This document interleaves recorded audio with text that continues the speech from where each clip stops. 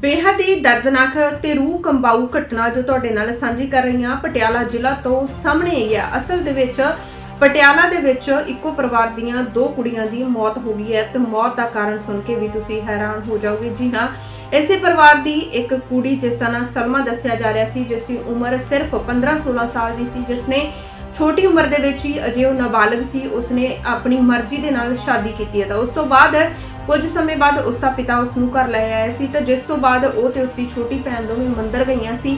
ਤਾਂ ਜਦੋਂ ਮੰਦਰ ਤੋਂ ਵਾਪਸ ਆ ਰਹੀਆਂ ਸਨ ਤਾਂ ਉਸ ਦੇ ਪਤੀ ਦੇ ਨਾਲ ਉਸ ਦੀ ਕਹਾ ਸੁਣੀ ਹੁੰਦੀ ਹੈ ਤੇ ਉਸ ਤੇ ਛੁਰਾ ਮਾਰ ਕੇ ਉਸਨੇ ਕਤਲ ਕਰ ਦਿੱਤਾ। ਤਾਂ ਇਸ ਪੂਰੀ ਘਟਨਾ ਨੂੰ ਦੇਖ ਕੇ ਜੋ ਛੋਟੀ ਲੜਕੀ ਸੀ, ਜਿਸ ਦਾ ਨਾਮ ਹੁਸਨਪ੍ਰੀਤ ਦੱਸਿਆ ਜਾ ਰਿਹਾ ਤੇ ਜਿਸ ਦੀ ਉਮਰ ਅਜੇ ਸਿਰਫ 5-6 ਸਾਲ ਦੀ ਸੀਗੀ ਤਾਂ ਉਸ ਦੀ ਹਾਲਤ ਉਸੇ ਸਮੇਂ ਵਿਗੜ ਗਈ ਉਸ ਦੀ ਤਬੀਅਤ ਵਿਗੜ ਗਈ, ਜਿਸ ਤੋਂ ਬਾਅਦ ਉਸ ਨੂੰ ਰਜਿੰਦਰਾ ਹਸਪਤਾਲ ਲੈ ਕੇ ਜਾਇਆ ਗਿਆ ਤਾਂ ਡਾਕਟਰਾਂ ਦੇ ਵੱਲੋਂ ਉਸ ਦਾ ਮੈਡੀਕਲ ਕੀਤਾ ਗਿਆ, ਜਾਂਚ ਸ਼ੁਰੂ ਕਰ ਦਿੱਤੀ ਗਈ, ਪਰ ਤਬੀਅਤ ਜ਼ਿਆਦਾ ਵਿਗੜਨ ਦੇ ਕਾਰਨ ਉਸ ਦੀ ਮੌਕੇ ਤੇ ਹੀ ਮੌਤ ਹੋ ਗਈ ਹੈ। ਤਾਂ ਇਹ ਰੂਹ ਕੰਬਾਊ ਘਟਨਾ ਪਟਿਆਲਾ ਦੇ ਵਿੱਚ ਵਾਪਰੀ ਹੈ। ਇੱਕ ਪਤੀ ਨੇ ਆਪਣੀ ਹੀ ਪਤਨੀ ਦਾ ਕਤਲ ਕਰ ਦਿੱਤਾ ਹੈ। ਨਾਬਾਲਗ ਪਤਨੀ ਦਾ ਕਤਲ ਕੀਤਾ ਤੇ ਉਸ ਨੂੰ ਦੇਖਦੇ ਹੋਏ ਦੂਜੀ ਭੈਣ ਵੀ ਦਮ ਤੋੜ ਗਈ।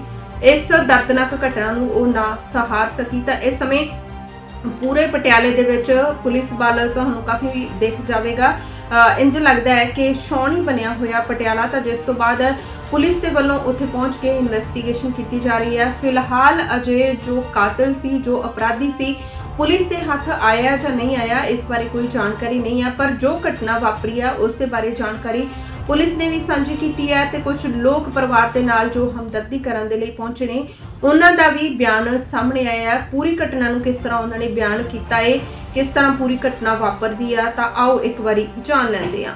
ਹਾਂਜੀ, ਇੱਕ ਲੜਕੀ ਸੀਗੀ ਸਲਮਾਨਾਂ ਦੀ, ਜੋ- ਕਿ ਪਿੱਛੇ ਜੇ ਇਹਨੇ ਇੱਕ ਸ਼ਾਦੀ ਕਰਾਈ ਸੀਗੀ ਆਪਣਾ, ਆਪਣੀ ਮਰਜ਼ੀ ਦੇ ਨਾਲ। ਜਿਸ ਦਾ ਲੜਕਾ ਸੀਗਾ ਅਰੁਣ ਕੁਮਾਰ ਏਲੀਅਸ ਕੋਕੋ ਨਾਲ। ਤੇ ਉਹ ਕੁਝ ਦਿਨ ਪਹਿਲਾਂ ਇਹਦਾ ਫਾਦਰ ਲੜਕੀ ਨੂੰ ਲੈ ਆਇਆ ਸੀਗਾ ਘਰ।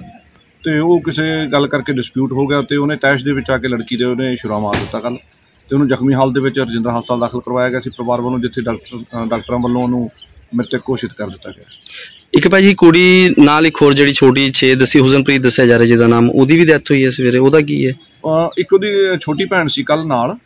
ਜਦੋਂ ਇਹ ਵਾਕਿਆ ਹੋਇਆ। ਤੇ ਉਹ ਪਰਿਵਾਰ ਦੇ ਫਿਲਹਾਲ ਅਸੀਂ ਬਿਆਨਾਤ ਤਾਂ ਅਸੀਂ ਕਲਮਬੰਦ ਕਰਨੇ ਆ ਪਰ ਮੁੱਢਲੀ ਪੜਤਾਲ ਦੇ ਦੌਰਾਨ ਪਾਇਆ ਗਿਆ ਵੀ ਉਹ ਬਿਮਾਰ ਵੀ ਸੀਗੀ ਇੱਕ ਤਾਂ ਤੇ ਉਹਨੂੰ ਕੁਝ ਇਹ ਵੀ ਲੱਗਿਆ ਵੀ ਉਹਦੀ ਸਿਸਟਰ ਦੀ ਡੈਥ ਹੋ ਗਈ। ਤੇ ਉਹਨੂੰ ਅੱਜ ਇਹਨਾਂ ਨੇ ਜਦੋਂ ਜ਼ਿਆਦਾ ਬਿਮਾਰ ਹੋ ਗਈ ਸਵੇਰੇ ਉਹਨੂੰ ਹਸਪੀਟਲ ਦਾਖਲ ਕਰਵਾਇਆ ਗਿਆ ਰਜਿੰਦਰਾ ਤੇ ਜਿੱਥੇ ਉਹਦੀ ਵੀ ਡੈਥ ਹੋ ਗਈ। ਤੇ ਭਾਜੀ ਇਹ ਬਾਲਿਕ ਦੱਸਿਆ ਜਾਂ ਨਾਬਾਲਿਕ ਹੈ? ਕਿਉਂਕਿ ਵਿਆਹ ਦੱਸਿਆ ਜਾ ਰਿਹਾ ਨੇ ਵਿਆਹ ਕਰਿਆ ਹੋਇਆ ਇਹ ਜ- ਮਤਲਬ ਹੈ ਤਾਂ ਨਾਬਾਲਗ ਨੇ ਹੈਗੀਆਂ ਮਤਲਬ ਐਕਚੁਅਲ ਡੇਟ ਆਫ ਬਰਥ ਇਹਦੇ ਫਾਦਰ ਨੂੰ ਨਹੀਂ ਪਤਾ ਇਹਨਾਂ ਦੀ। ਗਰੀਬ ਪਰਿਵਾਰ ਹੋਣ ਕਰਕੇ ਪੜ੍ਹੀ ਲਿਖੀ ਵੀ ਹੈ ਨਹੀਂ ਕੋਈ ਇਹਦਾ ਸਰਟੀਫਿਕੇਟ ਵਗੈਰਾ ਹੈ ਨਹੀਂਗਾ ਤੇ 15 16 ਸਾਲ ਦੇ ਕਰੀਬ ਸਾਨੂੰ ਦੱਸੀ ਜਾ ਰਹੀ ਹੈ मामला जी बच्चे पहले मंदिर में गए थे मंदिर से आकर दुकान में चले गए सामान लेने वाला था सामान लेकर आ रहे थे उसके बाद में दो मुंडे मोटरसाइकिल पर आया पूरी नाल हत्ता बाही करके पूरी हाथ पजने लगे ना उसके चाकू मार के लड़का कौन है वो? लड़का भगत सिंह चौक का नाल कलोनी है उस कलोनी का लड़का। हम्म। उसका बाद में बड़ी कुरी के तो चाकू मार के उत्ती मौत होगी हम्म। उसका बाद में छोटी कुरी की निक सगमा लगे हैं उसका हार्ट अटैक होकर उसके भी दोनों दोनों बच्चे मौत हो गई। जी लड़की है उन्हें शादी करवाई थी कुछ ऐसा है नहीं शादी नहीं करवाई थी जी। मुंडा एक बार पजा के ले गए थे मैं वो वापस घर ले आया था मैं। हम्म। तो उसी ने मारी है? उसी ने मारी है। ਨਾਮ ਕੀ ਹੈ ਜੀ ਮੁੰਡੇ ਦਾ? ਮੁੰਡੇ ਦਾ ਨਾਮ ਅਰੁਣ ਤੇ ਕੋਕੋ ਜੀ। ਦੋ ਮੁੰਡੇ ਨੇ ਜਿਹਨਾਂ ਹਮਲਾ ਕੀਤਾ।